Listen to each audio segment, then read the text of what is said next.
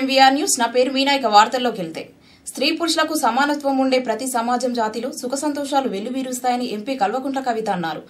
ఢిల్లీలో ఐరాసా global compact సంస్థ గ్లోబల్ నెట్వర్క్ ఇండియా సంయుక్తంగా నిర్వహించిన లింగ సమానత్వ సదస్సులో ఆమె ప్రసంగించారు.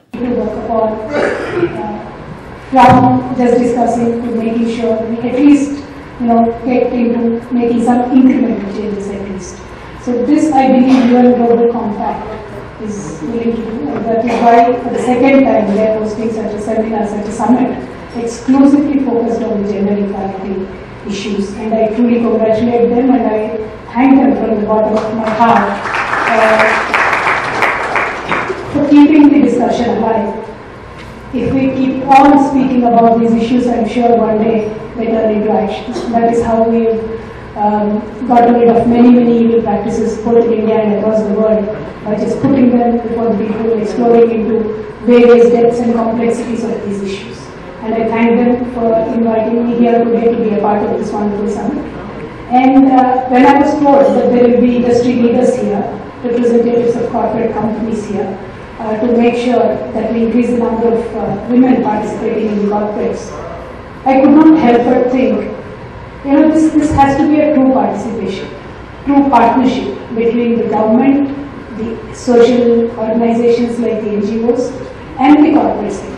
Three of us should together make an effort to make sure we put the women back into the jobs that where they belong. As in, as a government, we could be, as a policymaker, we, we should be making policies which are more women friendly, which are also more supportive to the corporates to make sure that the cost of the investment that they make, they invest in the initiatives to keep the women in the jobs. Government should be sharing a part of it. And NGOs, of course, should be working towards breaking the biases, should be working towards changing mindsets is what I heard in a lot of uh, conversations. So in changing mindsets. And then of course the corporate sector has to truly, truly make an effort to hire more women. Not only hire more women, hiring them and also making sure they move upward very quickly. That I believe is the most important thing.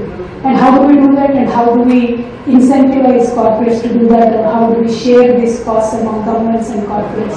I think this is what is to be discussed at length and acted upon. And one particular uh, thing when I think about these issues, what I have heard in various corporate meetings, uh, if at all you happen to attend a sales meeting of a corporate company, if you in the boardroom, very aggressive. You're giving targets to your workers, uh, to your employees. You set a target and you say it's a daily or weekly target. If an employee meets that sales target, you either incentivize him, if he doesn't, you de-incentivize him or whatever. But when it comes to hiring more women, you make a general statement. Do your best, try to hire more women, you know, try to find people, and it doesn't work unless and until you set a target and you tell your HR team that you have to hire these number of women at any cost. And until and unless you set a target, it is not going to happen. Because we as governments, we understand this. If you make a general purpose statement, it is not going to work. If you want to only bring about certain change, you have to set a timeline, you have to set a goal, you have to give a particular budget to it, the cost associated to it. And I'm very proud to say Dikti was here on the stage. And I'm very proud to say we at Telangana State take this very seriously. Make sure invest in our women, in our women entrepreneurs, in our women in the informal sectors, we invest very seriously. Uh, Dikti represents, is the head of the BHUB initiative of the Telangana government. This is the first state-led women entrepreneurs uh, uh, hub that is going to train them it's an incubator to support the women. And I'm very proud to say we just don't speak. We speak our mind and support these people with the resources required. At WeHub, we give away loans starting from 3 lakh to 2 crores without, you know, much 3 lakhs to 2 crores. And also we make sure we hold their hands in every aspect, starting from the incubation point to marketing aspects as well. And in the informal sector, in Telangana state, I am very proud to tell you, 42 lakh women are organized under self-help groups. And in the last four years, we gave them about 20,000 crores. 20,000 crores in loans. And as I said, our government and our leader is very committed to the to providing resources and also bringing making sure we reach the target. So I'm just here to tell you, in the 20,000 crore lo- loan that we gave, there were many, 60% uh, of these loans were utilized to farm sector, but about 30% were, uh, you know, new enterprises created in the non-farm sector. And out of this non-farm sector enterprises, I'm very proud to tell you, 8 lakh 7,373 enterprises were created. And this, you can see it on there. And most of them are doing very well. Most of them are production oriented, some are service oriented. They're doing great. I mean, both formal and informal sectors as governments, we are very proactive. We are investing more money. Pakistan నుంచి భారత వాయుసేన wing commander Abhinandan విడుదల సందర్భంగా కొల్చారం మండలం రంగంపేట గ్రామంలో bus stand వద్ద విశ్వ హిందూ పరిషత్ బజరంగ్ దళ్ యువజన సంఘాలకు చెందిన యువకులు సంబరాలు జరుపుకున్నారు. అనంతరం జాతీయ జెండాతో ర్యాలీ నిర్వహించారు. పాకిస్తాన్ నుంచి భారత వాయుసేన వింగ్ కమాండర్ అభినందన విడుదలతో కొల్చారం మండలం రంగంపేట గ్రామంలో బస్టాండ్ వద్ద విశ్వ హిందూ పరిషత్ బజరంగ్ దళ్ యువజన సంఘాలకు చెందిన యువకులు సంబరాలు జరుపుకున్నారు. అనంతరం జాతీయ జెండాతో ర్యాలీ నిర్వహించారు. వీరుడా నీకు వందనం. జై జవాన్ భారత్ మాతాకే జై. అంటూ నినాదాలు చేశారు. పాకిస్తాన్లో ఉన్న భయం లేకుండా ధైర్య సాహసాలు ప్రదర్శించిన అభినందన్ను రియల్ హీరో అని ఈ సందర్భంగా పలువురు కొనియాడారు. ఈ కార్యక్రమంలో మచ్చ శ్రీనివాస్ బంజర్ వెంకటేశం వీరప్రసాద్ కంచర్ల రాజు రమేష్ వెంకట్ తదితరులు పాల్గొన్నారు. జై జై!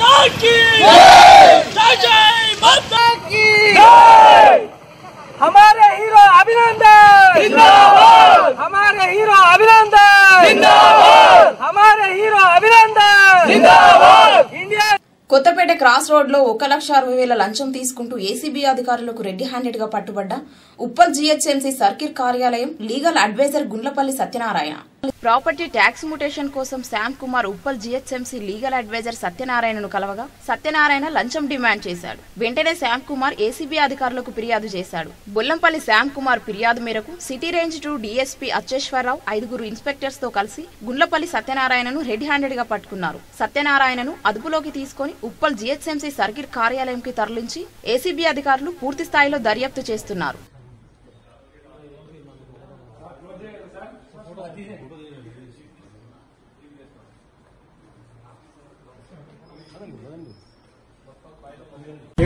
మా మదర్ పేరు మీద నా నా పేరు శ్యామ్ కుమార్ అండి.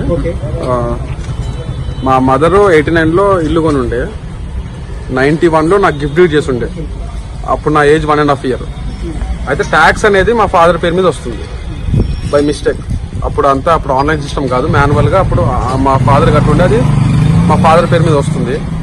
సో నా మీద చేంజ్ చేయాలి చేంజ్ చేయమని నేను ఒక డిసెంబర్ శ్యామ్ కుమార్. బొల్లంపల్లి శ్యామ్ కుమార్ బొల్లంపల్లి. సో నేను జనవరి టెన్త్ అప్లికేషన్ పెట్టింది. అది వాళ్ళు లీగల్ అడ్వైస్ పంపాలని లీగల్ అడ్వైస్ పంపించారు. ఆ యొక్క legal advocate Satyanarayana ji standing council member జిహెచ్ఎంసీకి.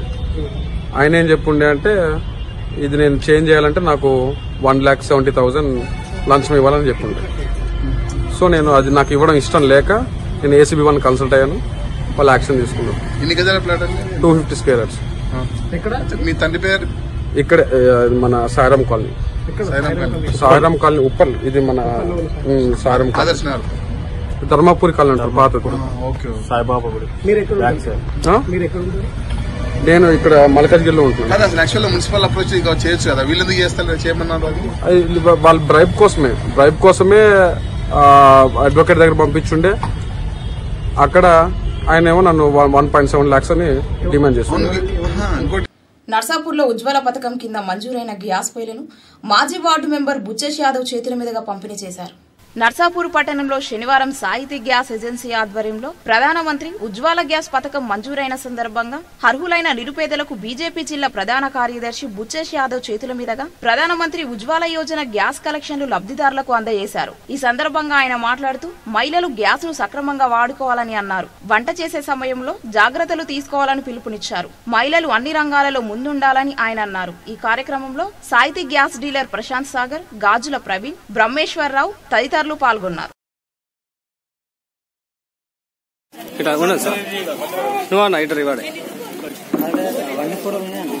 ఉన్నది ఉన్నది నేను తీసుకుంటే అయిపోతుంది. మా పని అయిపోతుంది.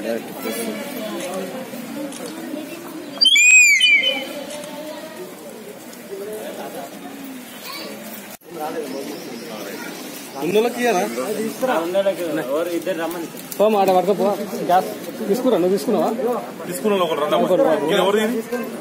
ఉద్యాన శాఖ ద్వారా బిందు సేద్యం పండ్ల తోటలు మరియు కూరగాయల సాగుపై దరూరు మండల కేంద్రంలోని మండల పరిషత్ కార్యాలయం వద్ద అవగాహన సదస్సు నిర్వహించారు. చెప్తాం దేశంలోనే అరవై శాతం సీడు గద్వాలకి వెళ్ళిపోతుంది. దేశానికి మొత్తం. ఈరోజు సీడు పండించే రైతులు దేశానికి ఆదర్శంగా నిలిచినారు అదేవిధంగా పసుపు కానీ అల్లం కానీ అన్ని కమర్షియల్ క్రాప్స్ అన్నీ కూడా మనం దేశానికి ఆదర్శంగా కావాలి. ఇక్కడ మన రైతులే ఆడ ఖమ్మంలో పండించినా ఇంకో దగ్గర పండించినా అక్కడ కూడా రైతులే. అంటే అక్కడ రైతులను సమన్వయపరిచి అధికారులు ప్రోత్సహించి ఆ పంటలు పండించే విధంగా అధికారులు సూచనలు సలహాలు ఇవ్వడం వల్ల ఆ పేరు వచ్చింది. అదేవిధంగా మా గద్వాలు మీరు కూడా సోమిరెడ్డి గారు రైతు కుటుంబంకి వెళ్ళి పుట్టిన వ్యక్తి వాళ్ళ వ్యవసాయం తెలిసిన వ్యక్తి వాళ్ళ వ్యవసాయదారుల కష్టాలు నష్టాలు మీ అంటే మీరు కూడా వ్యవసాయ కుటుంబంకి వెళ్ళి వచ్చినారు. వ్యవసాయ కుటుంబం ఎన్ని బాధలు ఉంటామంటే అనుభవించడానికే తెలుస్తుంది. అంటే మనం పిల్లలకి ఫీజులు కట్టలే కానీ అన్ని అధికారులకు కానీ ఏమైనా వ్యవసాయ కుటుంబాలకు వ్యవసాయ కుటుంబం అంటేనే ఆ బాధలు పడిన వారికే తెలుస్తుంది వ్యవసాయ కుటుంబం పరిస్థితులు. ఈరోజు ఇండస్ట్రీస్ కూడా అంటే కందులు కూడా పెద్ద ఎత్తున పండినాయి. అలా కందులు కూడా రెండు మూడు ఇండస్ట్రీస్ కూడా అడగడం జరిగింది. బ్యాన్లు చేసుకునే చిన్న చిన్న ఇండస్ట్రీస్ కూడా రావడానికి ఫుడ్ పార్కులు కానీ అన్ని కూడా వస్తాయి రాబో కాలంలో. ప్రజలందరూ కూడా ఒక సమన్వయ సమన్వయంతో రాబో కాలంలో బంగారు భవిష్యత్తు ఉండే విధంగా మీరందరూ నన్ను ఎంతో నమ్మకంతోనే గెలిపిస్తా. కష్టంగా రెండు మూడు సంవత్సరాల్లో దేశంలోనే గద్వాల ప్రాంతం అన్ని స్కీములు ఇక్కడ వర్తించే విధంగా కష్టపడేది ఉంటే కష్టపడితే ఎన్నెన్న పనులు ఫలితాలు సాధించవచ్చు మీరు అందరూ కూడా నాకు కూడా సహకరించండి. అందరు సహాయ సహకారంతో ప్రభుత్వ అధికారుల సహాయ సహకారంతో గద్వాల కాన్స్టిట్యున్సీని ఈరోజు నిజామాబాద్కి ఏ విధంగా మనం రైతులను తీసుకొని వాళ్ళ పంటలు చూపించుకుని ఇక బస్సుల్లో పోతాము అదేవిధంగా గద్వాలకు వచ్చే విధంగా మీరందరూ కూడా ప- పని చేయాలని కోరుకుంటూ అవకాశం ఇచ్చిన ఖచ్చితంగా సీడు పంటలు ఉండాలి. అదేవిధంగా ఇప్పుడు సీడ్ ఉంటేనే కదా సీడ్ పంట పండిస్తాం కదా పత్తి పండేది. ఆ సీడ్ పంట అంటే సీడే లేకపోతే పత్తి ఎట్లకెళ్ళి పండుతుంది వ్యవసాయం అనేది అన్ని రకాల వస్తువులు పండిన రోజే అన్ని రకాల ఇచ్చిన రోజే అభివృద్ధి చెందుతుంది ఇక్కడ సీడు పండిస్తాం దేశం మొత్తం మీద పత్తికి పత్తి పండించే రైతులు ఉంటారు. పత్తి కూడా పండిస్తాం మనం. ఆ పత్తి పత్తి లేకుంటే బట్టలు లేవు ఏం లేవు. అని అంటే ఒకదానికొకటి కనెక్షన్ ఉంటుంది. ఏ పంట పండించినా ఒకదానికొకటి ఉంటుంది. ఏ పండ్లు పండించినా ఆ పంటల ద్వారా ఏదో ఒక విధమైన ప్రజలకి వాళ్ళ లాభం చేకూర్చే విధంగా ఉంటుంది. అదేవిధంగా ఉద్యానవనాలు. పండ్ల తోటలు ఉన్నాయి. పండ్ల తోటలను పెద్ద ఎత్తున పెంచాలి.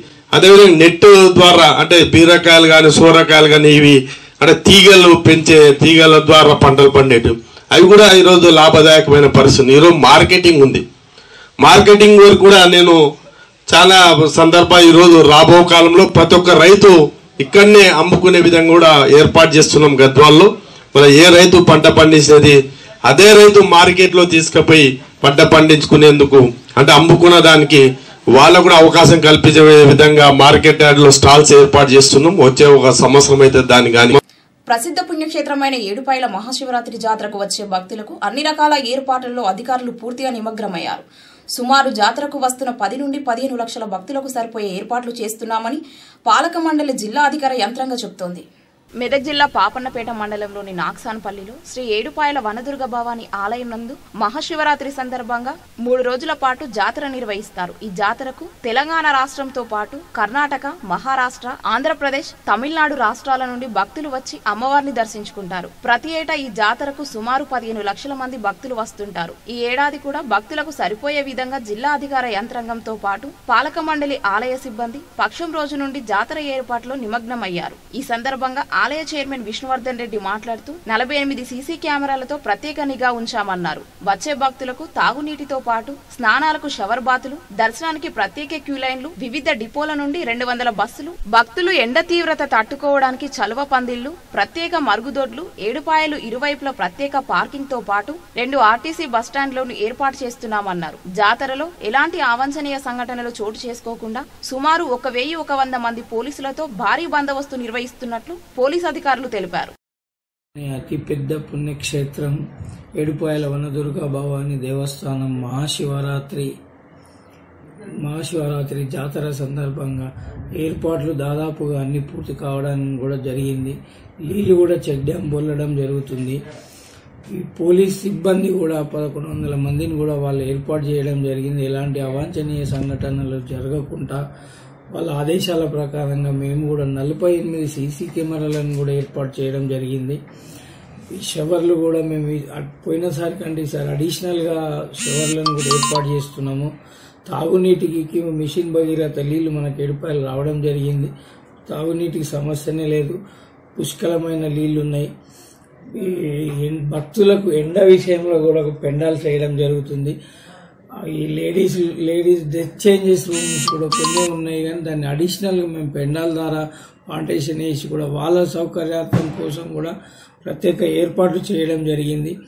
ఘనాపూర్ నుంచి ఇక్కడ బస్సు మన టెక్లోబొడ్డకు బస్ స్టాండ్ మారవడం జరిగింది. రోడ్డు కూడా అయిపోయింది. వచ్చే భక్తులకు కూడా పార్కింగ్ విషయంలో కూడా పార్కింగ్ను కూడా చేయడం జరిగింది. ఎక్కడ దుమ్ము ధూళి ఏది లేవకుండా దాన్ని వాటర్ చేసి రోలింగ్ చేయడం జరుగుతుంది. ఆర్డబ్ల్యూఎస్ వాళ్ళు వాళ్ళు ముందంజలో ఉన్నారు. అన్ని నల్లలు కూడా బిగించేసారు ఇరిగేషన్ వాళ్ళు వాటర్ను కూడా ఆల్రెడీ మొన్నటి నుంచి నడుస్తున్నాయి.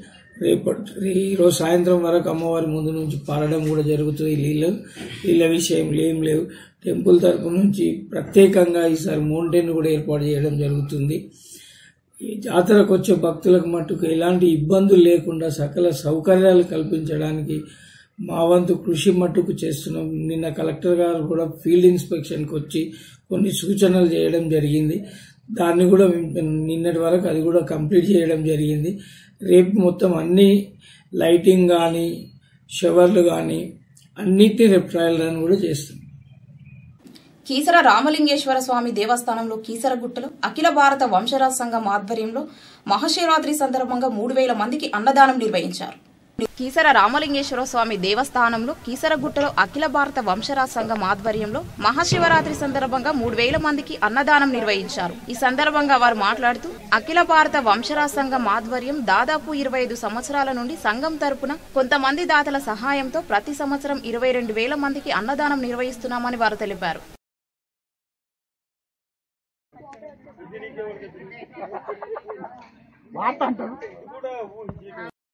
వాళ్ళకి రాలేదు ఇంకా ఫుల్ పేజ్ రాలేదు దానికి ఇంకా అధ్యక్షుడు అయినాక వస్తుంది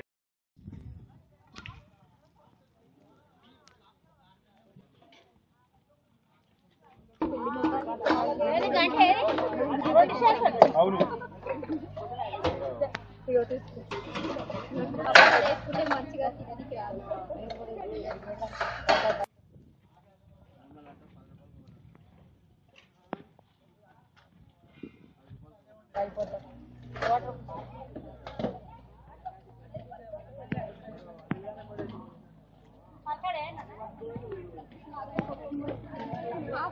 అయితే రాని అక్కడ పెట్టిగా ఎందుకంటే మళ్ళీ లైన్ అక్కడికి వద్దా?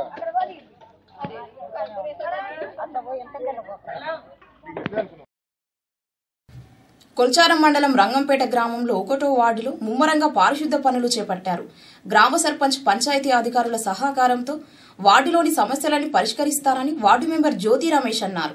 ఒకటో వార్డు మెంబర్ పోసన్న గారి జ్యోతి లక్ష్మి మాట్లాడుతూ వార్డు ప్రజల అవసరాలు తీర్చడానికి ఎప్పుడు అందుబాటులో ఉంటానని ఇచ్చిన మాట ప్రకారం గత రెండు రోజుల క్రితం వార్డులో నీటి సమస్య తలెత్తడంతో సింగిల్ ఫేస్ బోరుతో మరమ్మతులు చేయించామని మరియు గల్లీలలో మోరీలో చేరుకుపోయిన చెత్తను తొలగిస్తున్నామని ఎల్లప్పుడూ ప్రజలందరికీ అందుబాటులో ఉంటానని అన్నారు. ఈ కార్యక్రమంలో వెంకట్ రాజు చిన్న పాల్గొన్నారు.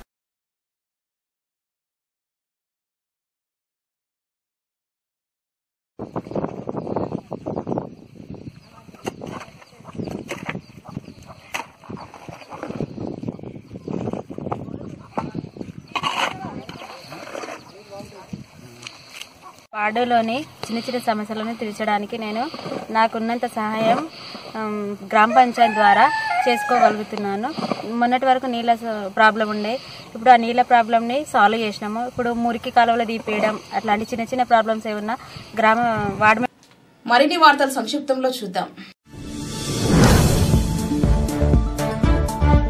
ప్రసిద్ధ పుణ్యక్షేత్రమైన ఏడుపాయల వనదుర్గ భవాని ఆలయ ఉండి లెక్కింపు శనివారం నాడు గోకుల్ షెడ్లో నిర్వహించారు. ఈ లెక్కింపునకు రామాయంపేట నార్సింగ్ మెదక్ గన్పూర్ శివనూర్ నుండి సత్యసాయి సేవ భక్తులు హనుమాన్ భక్తులు డబ్బులను లెక్కించారు. ఇరవై ఐదు రోజులకు గాను పది లక్షల నలభై ఎనిమిది వేల ఇరవై రెండు రూపాయలు ఆదాయం వచ్చినట్లు ఆలయ చైర్మన్ విష్ణువర్ధన్ రెడ్డి ఈవో మోహన్ రెడ్డి తెలిపారు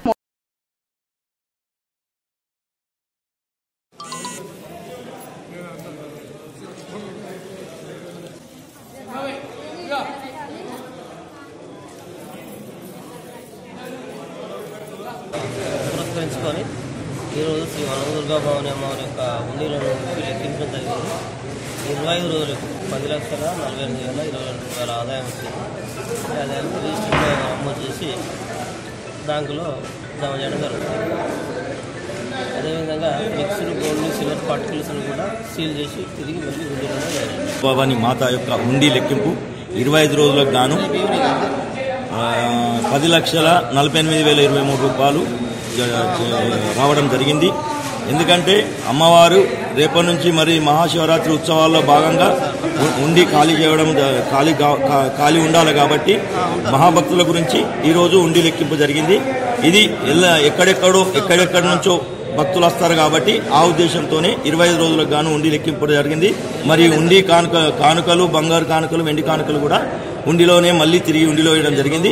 ఇక్కడ ఈ ఉండికి సహకరించిన సిబ్బందికి మరియు పత్రికా విలేకరులకు ఇక్కడికి వచ్చి విచ్చేసిన సత్యసాయి భక్తులందరూ కూడా మా ఏడుపాయల వనదుర్గా భవాని తరఫున ఇవి ఇప్పటి వరకున్న వార్తా విశేషాలు. మరిన్ని వార్తలతో మళ్ళీ కలుద్దాం. అంతవరకు సెలవు. నమస్తే.